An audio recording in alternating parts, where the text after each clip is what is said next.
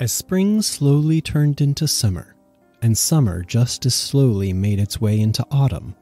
Keith Jesperson sat in a jail in Washington with little to do except to think about his crimes and make plans on how he might manipulate the system to his benefit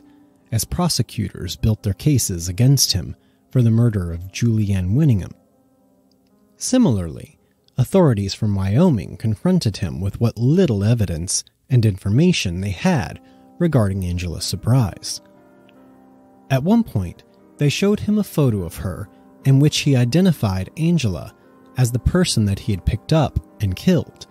He also told the investigators about a significant detail that would leave little doubt in their minds that he was, for reasons known only to him,